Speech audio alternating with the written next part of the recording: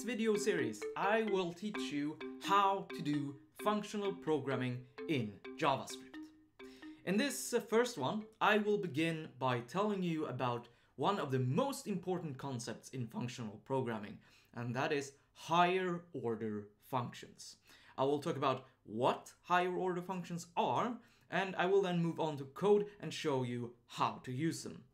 But before I do that, I want to tell you why you should learn functional programming. In case you don't know me, I'm Mattias Petter Johansson, uh, MPJ for short.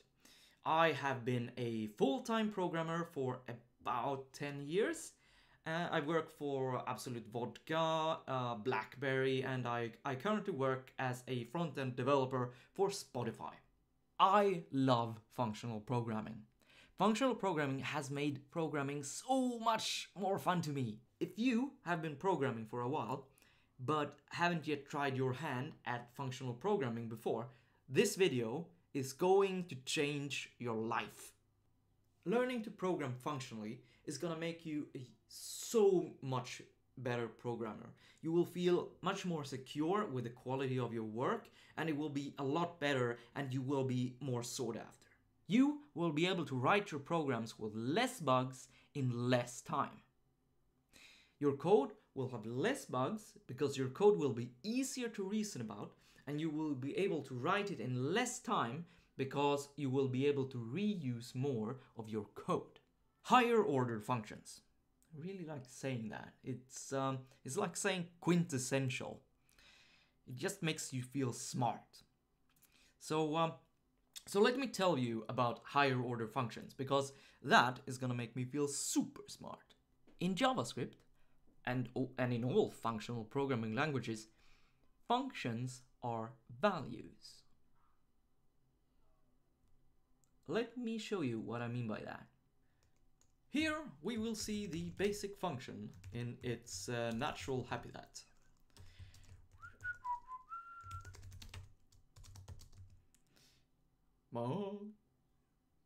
So you'll recognize this, even if you don't know JavaScript, because all uh, non-insane programming languages have functions. But not all programming languages can do this.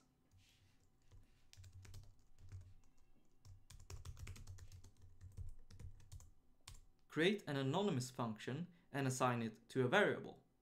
Just like any other value, we can pass it around like this.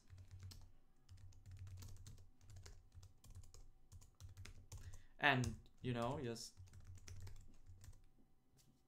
this will be 90. Again, in functional programming languages, functions are values. Just like strings or numbers, functions can be assigned to variables or passed into other functions, higher order functions. But what are higher order functions good for? Well, composition. The fact that we can take one function and put it into another function allows us to compose a lot of small functions into bigger functions. That's all a lot of theory. Let's look at how to actually use one of these things. Probably the most basic and useful higher order function is filter. It's really simple. Filter is a function on the array that accepts another function as its argument, which it will use to return a new filtered version of the array. Here, we see a list of animals. We have uh, Fluffykins, which is a rabbit. We have uh, Hamilton, who is a dog. And we have Ursula, who is a cat. And we want to filter out the dogs because we're writing enterprise grade software here. I am going to show you how to do this using filter, but before I do, I want to remind you how you do this with a normal for loop. Bam! So this is just a ultra normal for loop. It creates an uh, array to hold the dogs. It uh, iterates over the animals animals array, and uh, if the species of the uh, the animal, it being iterated, uh, is equal to dog, it will push that dog onto the animal's array. Now, let's rewrite this using the filter function. I'm gonna comment out the for loop and keep it around so that you can see it for comparison purposes. And here goes filter.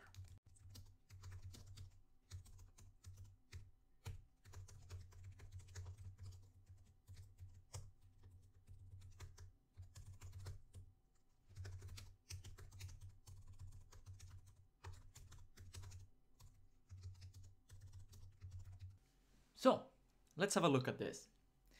Filter accepts one argument, uh, another function. Functions like this, functions that you send into other functions, are called callback functions because the host function will call back to them. Filter will loop through each item in the array. And for each item, it's going to pass it into the callback function. And when it does, it will expect the callback function to return either true or false to tell filter whether or not this item should be in uh, the new array. And after it's done, it will return the new filtered array and that will be dogs. Remember how I said that uh, you'll write software faster when you're doing functional programming? Notice here that the example that uses filter is a lot less code than the, uh, than the for loop. And that is not because the syntax is cosmetically sh shorter or anything. It's because we're actually writing less code, less logic. The reason that we need less logic is that when we write our software in, in small, simple functions, they compose together, which allows us to reuse functions all over the place. So in the filter example, we are just writing one line of logic really, which is uh, this one, the line that determines what animals goes into the array. And the rest of the program, creating a new array and stuffing uh, animals in it, that the um, uh, for loop has to uh, implement here and here, that is actually handled inside the, the filter function. It's handled for us. So we don't need to write it. Therefore, the filter function, the filter example is basically just one line of logic. The callback function and the filter function just slot into each other. They are composable. I'd really like to stress how well these simple functions compose. Let's break out the callback into a separate uh, variable.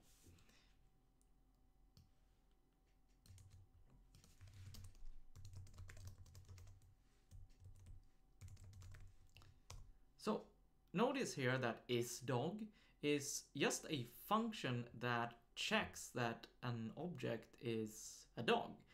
It doesn't really have anything to do with uh, filtering at all. It's completely decoupled from it. So we can use it for, uh, for other things. For instance, if we wanted uh, animals that aren't dogs, we could uh, pass it to um, reject, which is another uh, higher order function on the uh, uh, on the array object that does the inverse of of filter. So it would be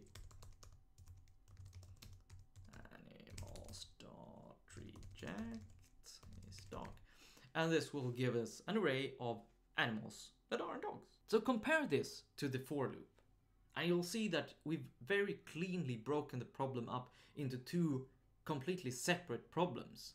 The problem of uh, determining if an animal is a uh, is a dog or not, and the problem of creating an array and uh, stuffing um, the objects into them.